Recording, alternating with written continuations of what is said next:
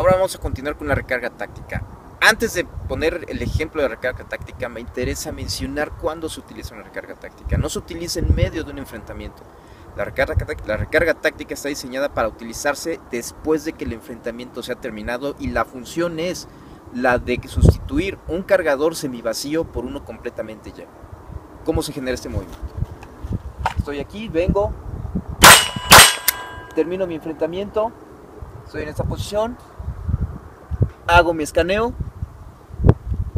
regreso, veo que no pasa nada, extraigo mi cargador, inserto uno que está completamente lleno y estoy aquí completamente listo para enfrentar una nueva amenaza si se me llega a presentar.